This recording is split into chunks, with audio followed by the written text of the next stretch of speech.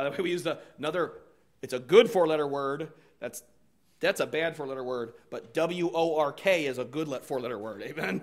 And so we talk about debt and how to eliminate that and what the Bible says about some debt. Tonight we're really going to talk about the importance of giving and really have just a, bit, a little bit of biblical understanding. And I'm going to really talk to you tonight. It's really three reasons why you can't afford not to give. Okay? Your budget cannot handle you not giving. And so this is if you missed all the other lessons, this is the one to get. Um, so let's first of all go to Genesis 28. We'll look at verse number 19. This is a story with Jacob. And um, let's look at verse number 18 and read a little bit. Uh, he had Jacob just saw a vision as he was journeying, and he paused in a place called well, it wasn't called at that time, but we know it as Bethel. Bethel is the house of God. That's what it means.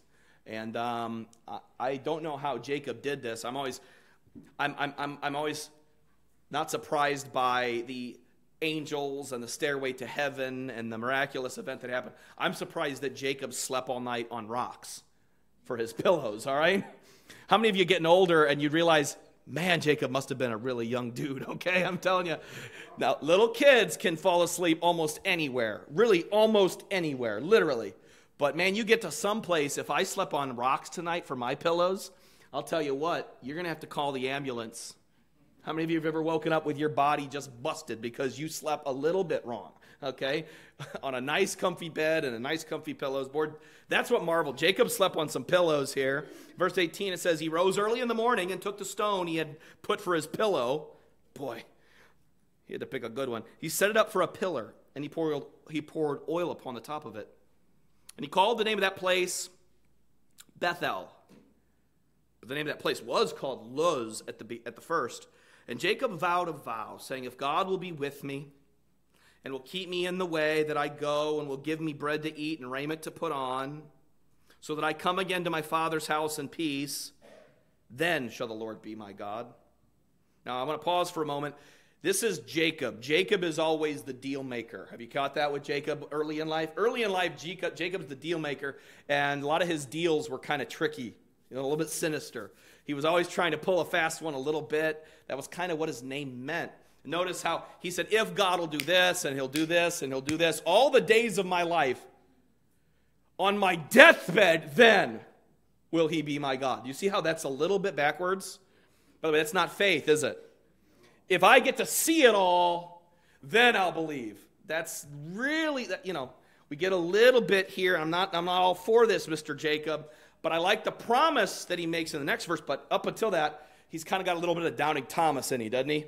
If I see it, I'll believe it. And God goes, No, no, no. You believe it because I said it. How many of you knew that God already said he would provide Jacob's needs?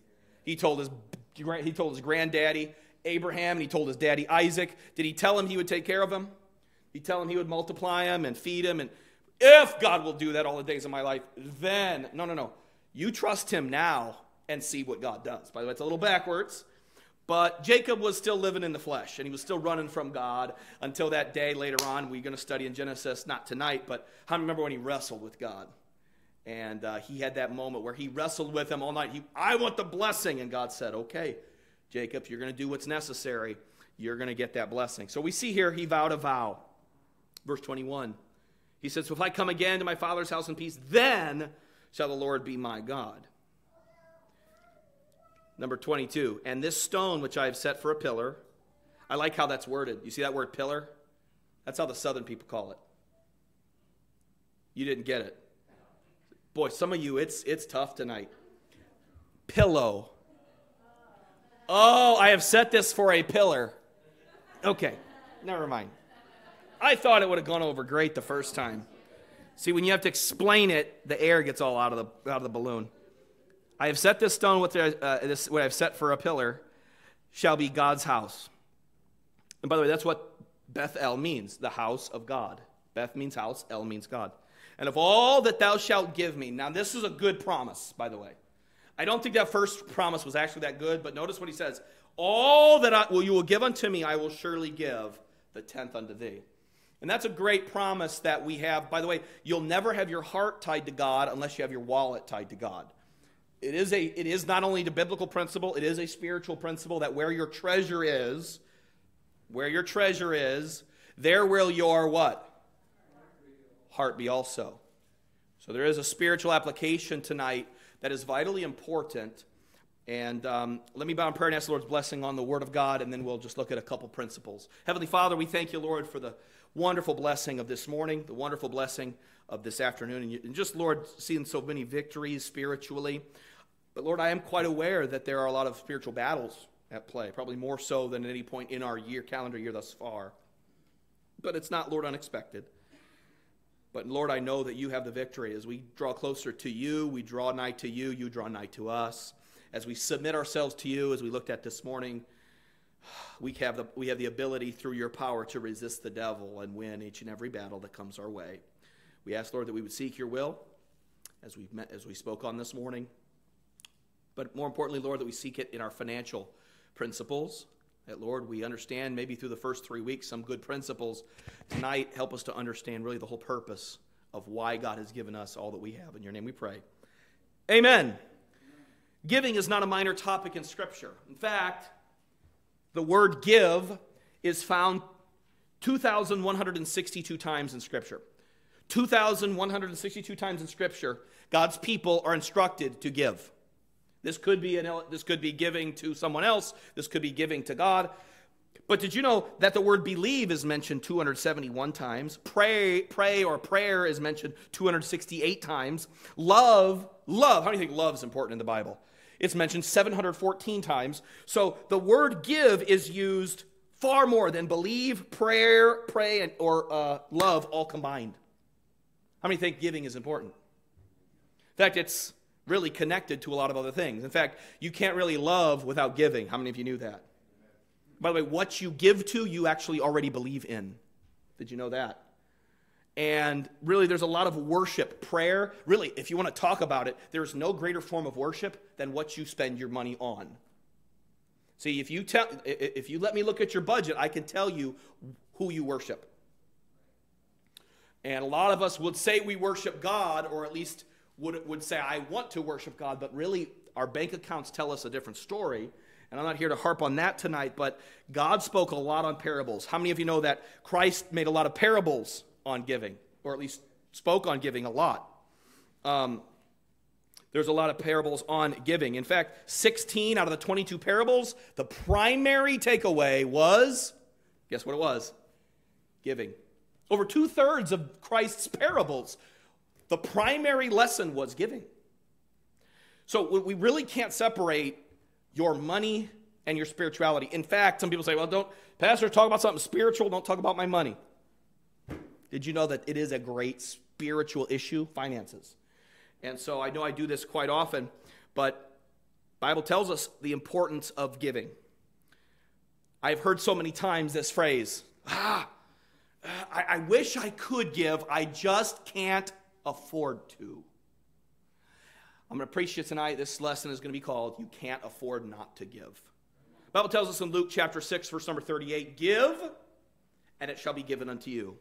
Pressed down and shaken together and running over, shall men give into your bosom. For with the same measure that ye meet, it shall be measured unto you again. I'm firmly convinced that the law of sowing and reaping, you ever read that passage? For whatsoever man soweth, that shall he also reap. I'm convinced that's also a giving principle, as illustrated here. How many of you ever realize if you want a great harvest, you have to plant a great crop? The Bible says, with exactly how measure you give, that's the blessing you're going to receive later. How many of you want to be blessed if the Lord tarries in a year from now? You know what we need to start doing today? I'm convinced that we are, you are receiving now the harvest of your giving in previous years.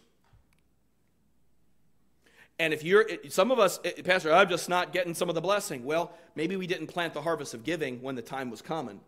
See, you can't just wake up in the harvest and go, God, I want a blessing. God goes, you should have planted in spring. Because if we're planting one grain, well, you'll get one stalk. But if you give generously, what does the Bible teach us? Hello? What does God say? You're going to receive, you're going to reap bountifully. So, this is a, an important statement. I believe that you cannot afford not to give. When people say, I can't afford to give, does that mean they don't have enough resources? Now, I've never been over to Ghana, never been to some of the places that she has been to.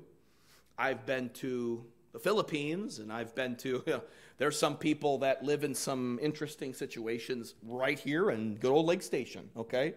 We went yesterday, we went to a couple areas, different places. We went a couple weeks ago, and man, I knocked on this one particular, you don't even call it a house, a shanty. You think, does this place have electricity? Goodness. It does. It looks like a third world place, man. And when they opened the door, it smelled worse than a third world place. You're like, holy but holy cow, it is not so great. You know what? But I can tell you what, God has blessed every one of us. The great privilege goes to those who live in America today. God has blessed us with resources. And so I'm going to give you three reasons. If you could put those on the screen. If you have your paper, we're going to go to the middle. It's called Why Give. You see the middle there? And then I'll go to some other notes here and really talk about that a little bit more. But Number one, giving meets our needs. Did you hear me on that one tonight? Giving meets our needs. You can see it on the screen. You, I think you only have to write the word meets. Please write M E E T S, not M E A T S. Okay? Some of you carnivores can't help it. Okay? And some of you vegetarians are going to be offended. Giving meets our needs. Let me ask you a question. Does God command us to do something we cannot do? Let me ask another question. Does God need our money? Is God poor? Is God the one shaking a can saying, I, need, you know, alms for the poor? Does God need a dime from us? See, sometimes we don't think about some of the very basics about God. God does not need your money. I've heard, I, have I've heard this since I've been here in the 10 years a few times. Well, I'll just take my money elsewhere. And I go, praise God. Because they think that's like a big gotcha. Do you know what? I don't want the drama to attach with the money sometimes, okay? In fact, I don't need your money, and God doesn't need your money. You know God needs? God needs sold out, willing vessels that say, God, I'm yours. And with that attitude, that's opposite. In fact, that's the mentality that's hurting churches. Christians that sit in it saying, I'll take my money elsewhere. Oh, be careful. Friend, God doesn't need a cent of your money. You need to give. We think about it all backwards. We think that, oh, God wants this. No, you need to give. God made you to give. There is a wire short circuited in your spirit if you're not giving. There's something frayed, there's something that's not working right. And we think we're going through life, we're winning if we're not giving. No, you're losing. You're missing the point of money, you're missing the point of life. Giving meets your needs. How many of you, you were young? You thought getting meets your needs? Raise your hand.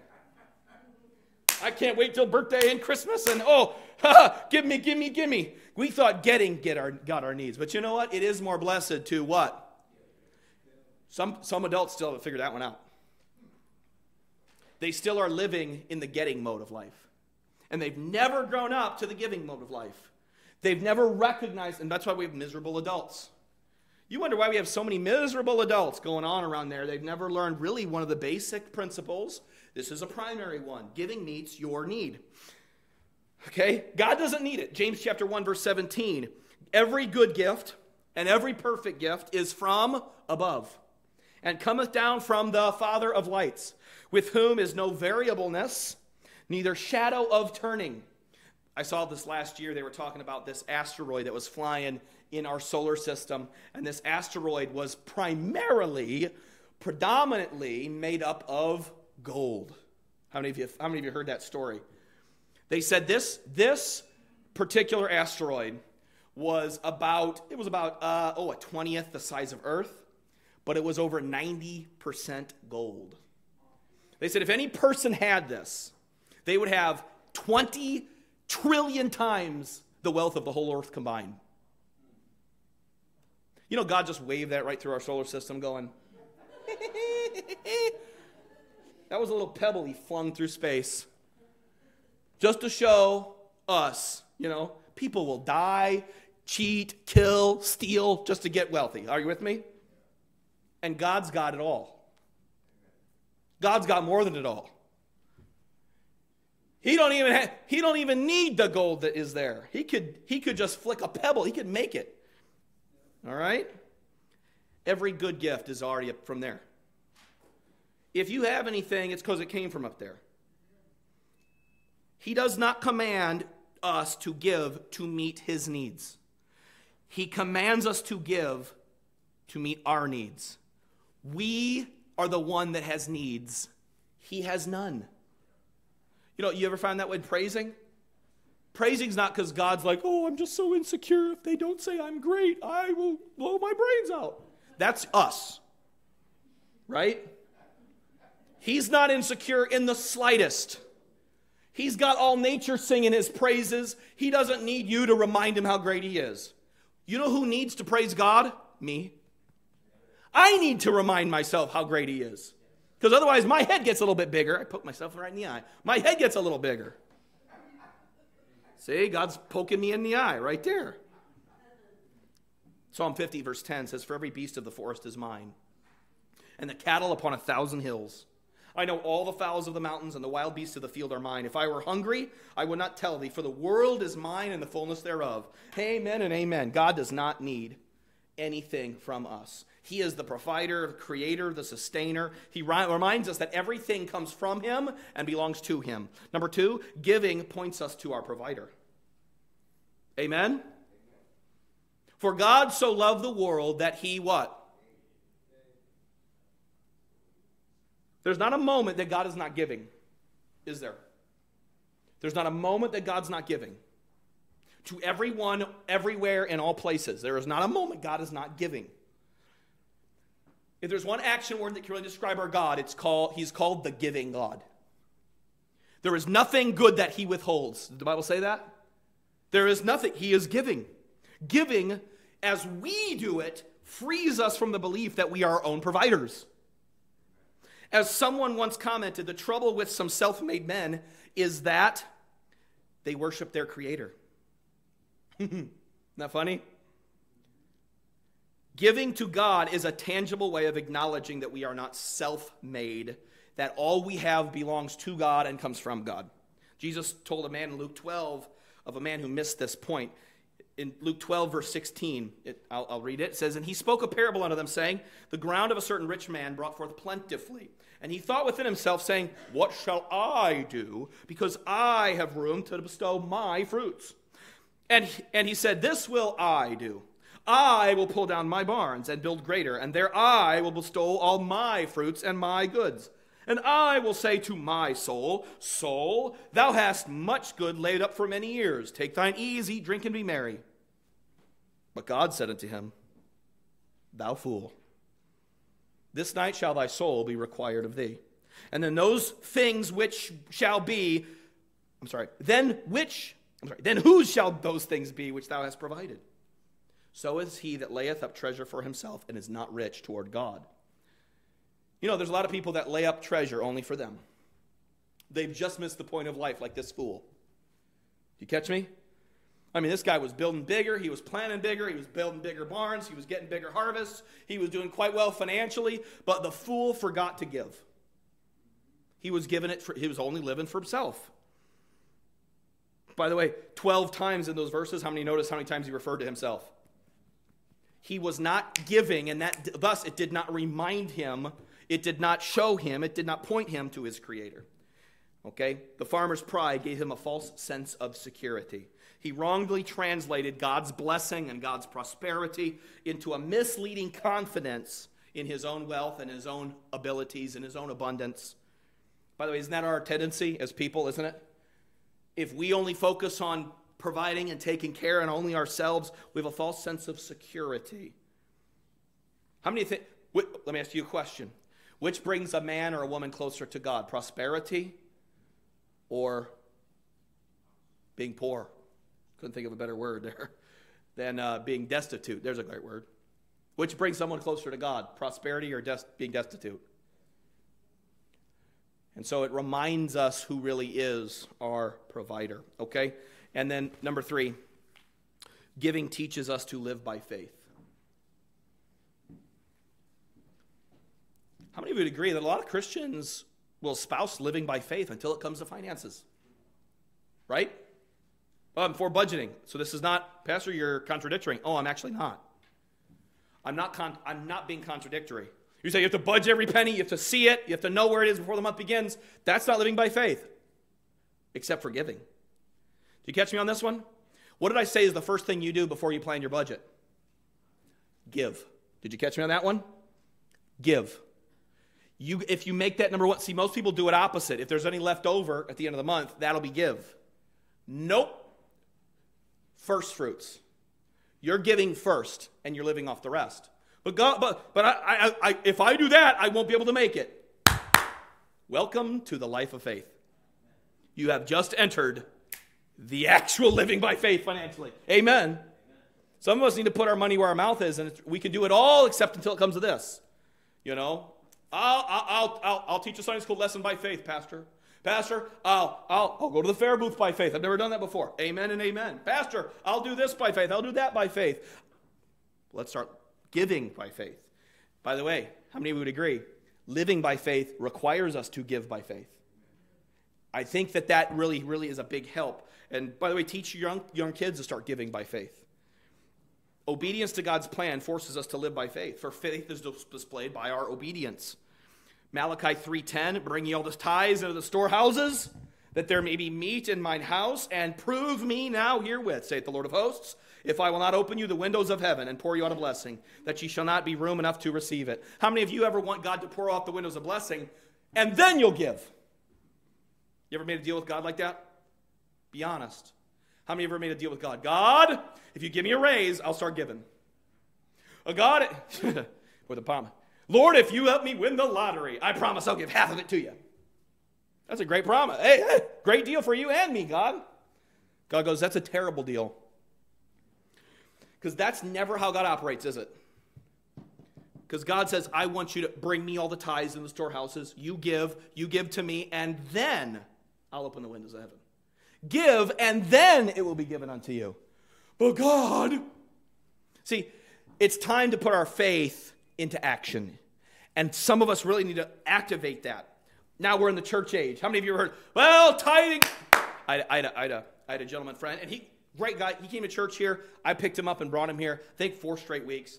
And he heard my teaching on tithing. He heard me use the word tithe. He sent me a long lesson on we, we don't give. The importance of nobody today should give a penny to the church. He said tithing does not should not happen. That was an Old Testament principle. He gave me a lot of things. And uh, it totally, by the way, totally backwards thinking in the age of grace. I even asked him this. He said, We're now living in the church age. We're now living in the age of grace. I do believe that we should live by more grace instead of less grace. You know, the Old Testament was not the age of grace, and they had to give 10%. Guess what we should be living in the age of, what should we, what should we be doing in the age of grace? More If, if in the Old Testament they were in the wilderness, God required 10%. In nowadays, you're living in the age of grace. You already have the, you don't have to believe in the coming Messiah. We've seen it. It's been here. He's already done it. We have His Holy Spirit. By the way, they didn't have that in those Old Testament times. Amen? How many thankful for what you have over what they didn't? Bible calls us very blessed. We are in the age of grace. You know what? Thank you, God, for your grace. I'll give 0% now. That, that's a little backwards to me. If God is bestowing more grace, then you should bestow more grace. Amen? That's the, that's the principle. And if you're living in the age of grace, it's my conviction that we should not give less grace than even the Old Testament required. Okay? In fact, I am of the conviction that if you're really a born again believer, you don't go to the Old Testament and go, well, we don't have to live by any of that anymore. I think that we should actually higher those standards. Jesus said, Well, I say unto you, You've heard it been said of old time, thou shalt not look on a woman to lust. I say unto you, I'm quoting wrong. You've heard it said of old time, thou shalt not commit adultery. There you go. But I say unto you, don't even look without lust. What? That's a lot harder. yep. You have heard that it's been said, thou shalt not kill. If you are angry at your brother without a cause, then you've committed murder in your heart. What? How many know the Lord actually, when you really want to make the Pharisees mad, he said, guess what? In this new age, you should actually be living under a much higher standard. And I know we're not required. That's called Christian liberty. Amen. How many thankful for Christian liberty? But if you have been given more liberty, you should be using it for grace. It's amazing to me how many people quote Christian liberty actually start living more filthy. You know, it's also amazing to me how many more people quote say that you have to earn salvation or you have to keep salvation. They believe in a kind of a work salvation. How much of it, how terribly a life they live. I don't believe I have to do one thing from here to heaven and I still have heaven. Amen? But you know what? We don't live that way. The just shall live by faith. In God's economy, giving meets our needs. It points us to the provider and it teaches us to live by faith. In God's economy, we are the givers. But guess who is the greatest benefactor of giving? The giver. You've got to get this down. When, these are the words of the Lord Jesus Christ. It is far more blessed to than to receive. And most Christians have, do not actually believe that at all. Oh, they like to quote it you know, around Christmas time, they give a gift, you know, as long as that person's giving them one in return or something, you know. But they don't really believe it. It's time we started living by faith in these regards. Let me give you a couple. Let me give you a couple points. First of all, the great misunderstanding, and we'll go to the house. I got a lot of verses and a lot of points, and I'm already out of time tonight. The great misunderstanding is actually a paradox. The mistaken belief is that the way to have wealth is to hold on to your money tightly. Okay, so there's a couple blanks in there. The way to actually have wealth is to hold on to money tightly. Now, that's a paradox that the world will actually give.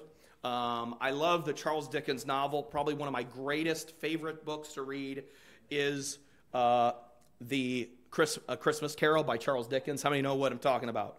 Okay, there's so many spiritual applications, and there's so many actually Bible quotes that are written in it.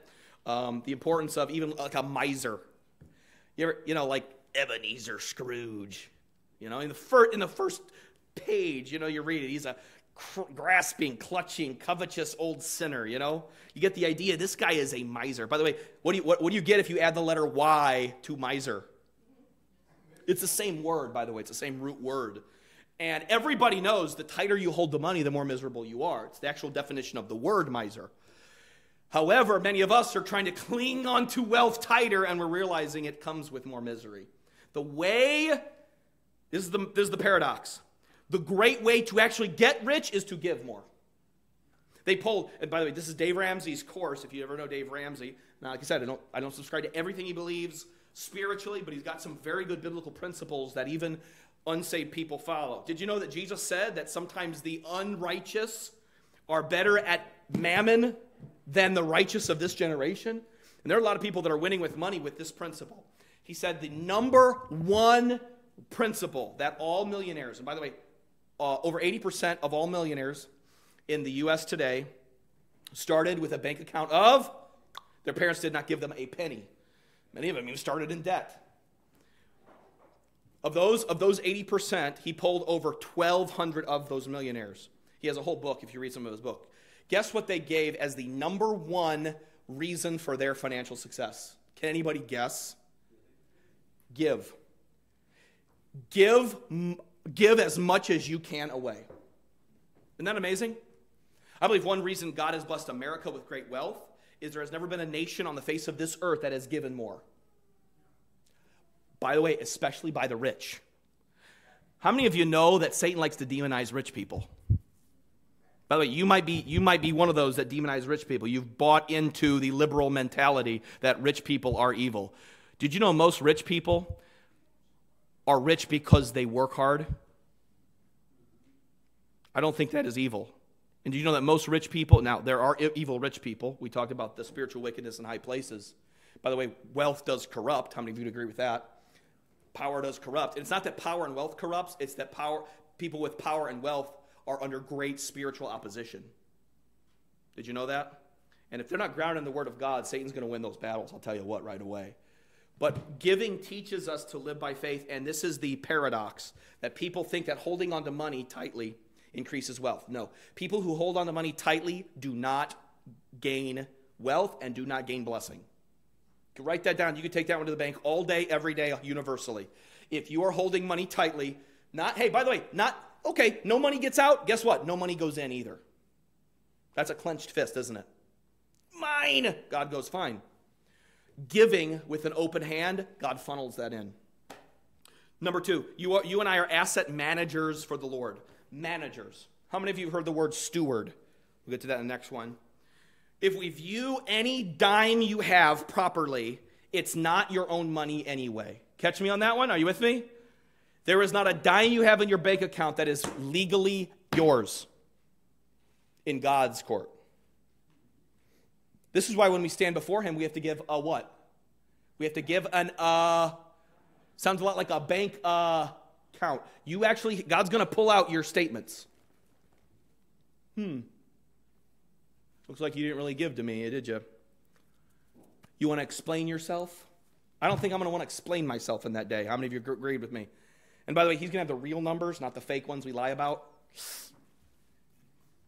Not the ones we give to the IRS. God's going to have the real ones, and we are stewards of it. It's all His. Okay? So we are simply, let, um, number two, a steward is a manager, not an owner. Can you imagine if you went to um, the manager of the bank and the manager of your local bank branch said, you know what? you haven't touched that money in a while, so I went and bought a whole new wardrobe with your money. If the manager of the bank said that, how many of you would want his job, want him to be fired on the spot? He should be. Why? Because he's just a he's a thief. But he's just a manager. How many of you would agree? That man that money doesn't belong to him. You, you gave it to him to manage. Yes? You gave it to him to manage. He does he owe a dime of what's in your bank account? No. No, he's just a manager. Well, they get paid hourly. I'm sure the bank does. But you know what? You're giving it to them to manage. It's your money. And should be. Time out. Someone said, what is, what is he? I wanted manager, but someone said, thief. What if God gave you money and you use it on you? You see why God said, Yes, you have robbed me, even this whole nation. Well, where, wherein have we robbed you? God says, Yep, you did.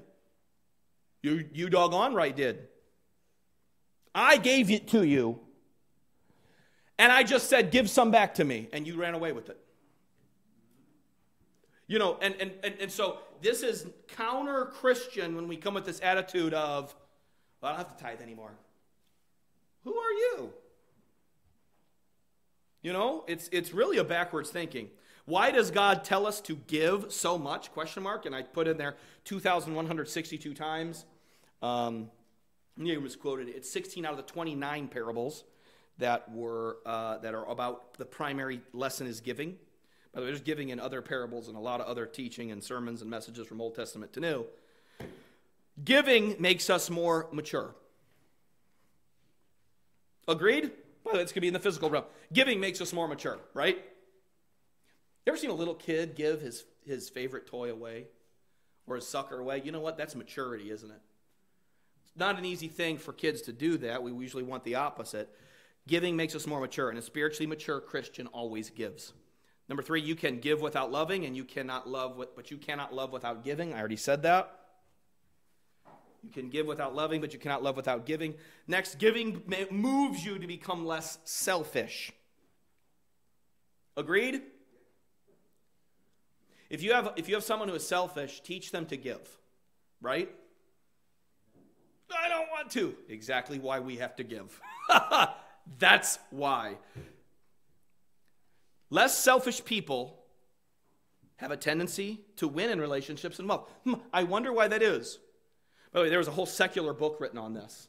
That the more, the more, the more someone is, has a tendency to give things away, the more the, the, the higher percentage of those people are in the elite upper class of financially. In fact, to the degree that you're predetermined by this is a psychoanalyst, this is not a Christian. It's a, it's a great it's a great mental thing. People who are most wealthy got that way because they are predisposed to giving it away. I wonder how that is. Question: Who do you think who do you think is better at relationships and marriage? Those who give or those who are selfish? Well, duh. Every married person will tell you that one. Right?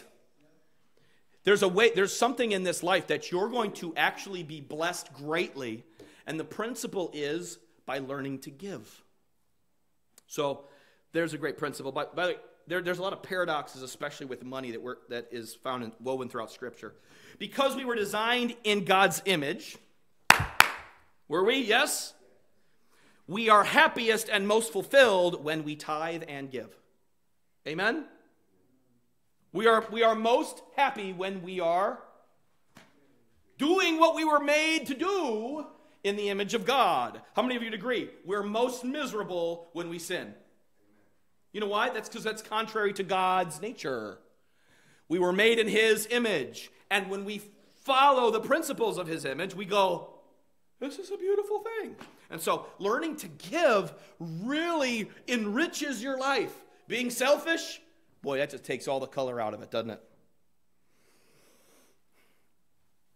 it? Instructions for giving. Let's go to the last one a tithe is a tenth. When you hear that word in Scripture, that just means tenth. It's a percentage of your increase. Write that word increase there. Okay? Write that word increase there.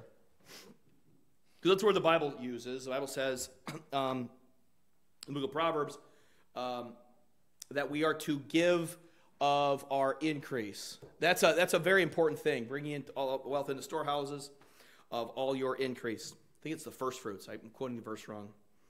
Um, we are to give of our increase. That means if you get anything, you're supposed to tithe off of it. Now, some of us don't think about this biblically a little bit. Did they have pictures of George Washington back in the Old Testament? Did they have Benjamin Franklin's floating around? In fact, a lot of times when this was written, did they even have in the Old Testament, did they even have a lot of currency? A lot of that, they actually were buying and selling and trading. You know what I'm saying? Um, Bible even talks about some parables of things when, when people received either a harvest. By the way, you know, farmers, it does, you don't really know what you're going to get in the harvest, do you? But how many of you know that it all came from God? You say, well, I did all the work. I did all the planning. I did all the work. I had plowing and harvest. No, God did it. God gave you the sun and the soil and the water and the rain. God gave you the seed and God gave you the plant. God gave you the strength. God gave you the arms, the legs. He gave it all to you. You didn't do, really, you just did the little bit of work that made, that made it possible. But let me just give you that thought that increase is everything you have. See, we, we only think of it as paycheck. Do you know when someone gives you a gift, that's increase? Oh, it got quiet.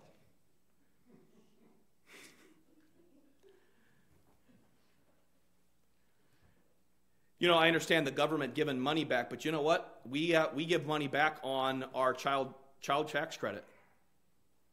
Government giving us some money here for having children, and amen. Praise the Lord that the government's giving us money for children. We're not going to say no, but praise the Lord, that's our increase. You say they took that out of your taxes. No, not that. You say, Boy, Pastor, you're getting real specific. It's time we start getting specific because there's some things in our bank accounts and in our homes that we think is ours. Amen? And it was the goodness of God that gave it, and we still haven't given to Him. You know, so the Bible tells us that we should give at least a tenth of all our increase. It's interesting the Bible uses that word. Okay? So the Bible says that the, give the first fruits, which means off the what? Top. Common question, Pastor. Do I tithe off of the gross or I tithe off of the net? How many know what we're talking about with gross and net? Because, of course, guess who gets their money a lot of times before you even see it? It's called Uncle Sam, right? It's gone, man. I, I saw this one video. This was several years ago, but this this teenager, and he had worked his first job, his first two weeks. He put in, he worked hard. He was so excited, and he was pumped. His dad, he got his check, got in the car with his dad, and he's like, "We're going right to the bank." And he was so pumped. He opened it. He started looking at it. By the end of the video, he's crying because he saw the taxes they took out. they took out over $100 out of his first check, and he was crying in tears. But that's my money. I worked for that money. You know, he was, and dad patted him. Welcome to life, son. Amen. That's a part of it, man. You're not going to really escape that here in this world. You're going to have that issue. But did you know what? I would hate to give the government first dibs over God. Amen? So, if all of our increase, if you're going to tithe properly, you go by the gross, not uh, the net. Not like after taxes, you go before the taxes, how much you got paid of your wages. How many of you agree? You said, I don't know. Hey, is God real or is he not real? Before you come back telling me how it's not going to work, how about you trust God and I promise you it will work? You know how I know it'll work? God said he'll take care of you. Amen? So try it. You know, I, I, I, don't have time tonight. It is the tithe is to go to your local church. I'll give my tithe to uh, Cancer for Kids research. That's not tithe. You can give it to that. I think that's a wonderful thing that you give, but the 10% belongs to God. Now, if you want to take beyond that and you want to give to this need, this cause, this person, this uh, building project, that's great. By the way, we're start some building projects up here in a little bit. Don't take your tithe and designate it for a building project. Okay? You can't tell God how to, how to pay the tithe. Okay? Can you imagine sending your NIPSCO bill and say, NIPSCO, you can only cash this check if, if you update my power lines on my street. You know what they're going to do? They're going to say, nah. this is a bill. We get to decide what we're doing with this, eh, right? This is a bill you owe. This belongs to NIPSCO. It, you, don't, you can't tell us how to spend it. You know, the tithe belongs to God. You, don't, you can't tell God how to spend it. Now, your giving is specific. How many of you understand giving is a little different? That's over and above that. If you want to get, say, Pastor, I want to tithe 20%. You can't. You can tithe 10 and you can give 10. You catch me on that? You can't tenth 20%. That's what tenth means. Um, the local church, which provides the same function as the Old Testament storehouse, bring ye all the tithes into the storehouses, that there may be meat in my house. That's what it says in Malachi 3. And prove me now herewith. Bible oftentimes references tithes with storehouses. Okay, um, offerings are different than tithe. I already mentioned that. They are above the tithe and freely and cheerfully given. The Bible says that the Lord loveth what kind of giver? My air went out. It's hot in here. Lord loves a cheerful what? Now, you don't have to give the tithe cheerfully. Did you hear me on that one? Because you're not giving. It's what's owed. Now, I think it would be nice to give it with a smile. Amen? But does NIPSCO care whether you have a smile or a frown when you write that check? You know why? It's owed. But if you're going to give, God loves a what? Freely have you given? freely give. That's what the Bible says, doesn't it? If you're going to give, put a smile on your face. Okay? And by the way, I don't think we understand the word sacrifice in, in America in 2023. Let's get real. How many of you have ever actually had to sacrifice? Like what they did in the book of Acts type of sacrifice? How many know that like they sold their homes? They sold their land. They sold their property. They sold their inheritance. You guys, you, let's get real here a little bit we don't scrape hardly the barrel that people used to. What a sacrifice.